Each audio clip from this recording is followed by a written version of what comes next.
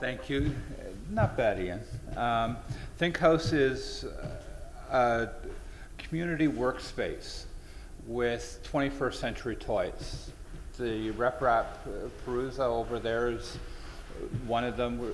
We're having a few more. We have a laser cutter. Um, we end up with some uh, nice soldering equipment and so forth, electronics equipment.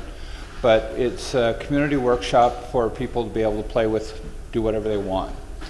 Um, it's about three years old, actually almost four years old now. Uh, started first, our first location was Niagara on land, roughly Wentworth and Burlington.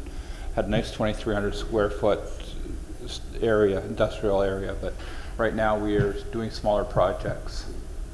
Um, 3D printing is essentially an area of, ra- of um, rapid prototyping.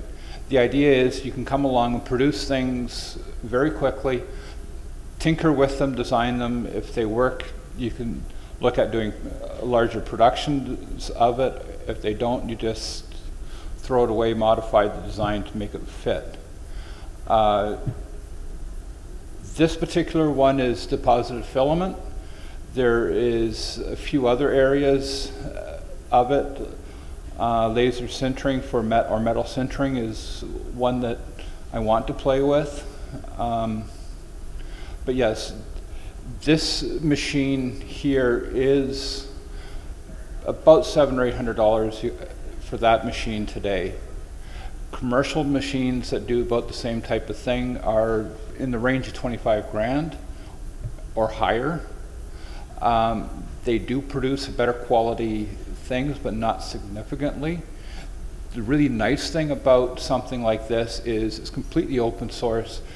The design is completely available. It's always being tinkered with. It's, there's a constant evolution, and there's all kinds of people who come along with modifications to make it better. There's a couple of pieces over there, a few pieces that have been modified. Um, it, two years ago, when it started to get into the, the maker and the hacker community with 3D printing, the common thing for everybody to do was to make another one. Uh, right now, I'm doing a piece. It's called the Bust of Paris. I forget the name of the Italian artist who carved it in marble uh, for Napoleon. But um, the original is in the Art Institute of Chicago and is 66 centimeters high. This piece, when it's finished, is only going to be 72 millimeters, so a little bit better than 10% of the size.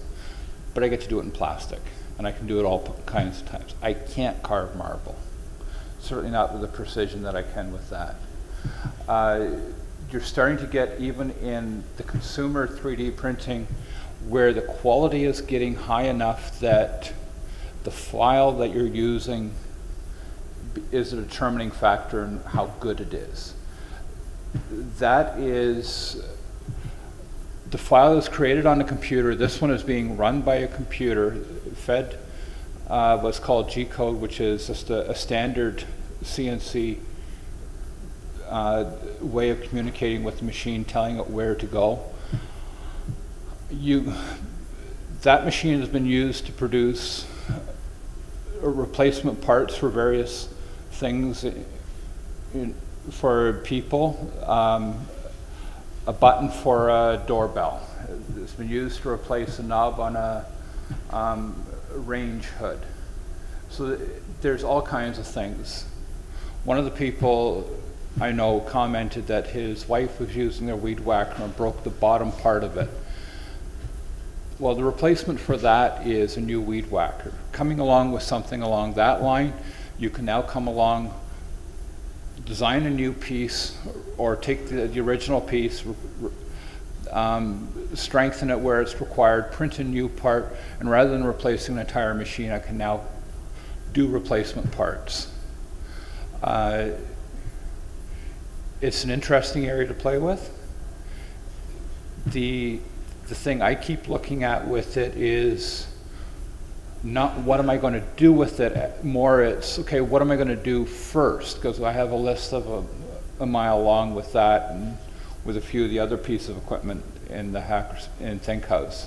And yeah, it's, ThinkHaus has its open houses on Tuesday nights, 25 Dundurn Street North. Come by and drop by and say hello, get to see, get play with the, come up with the machines and see what we have to offer. And yeah, it's a chance to, it's a chance to play.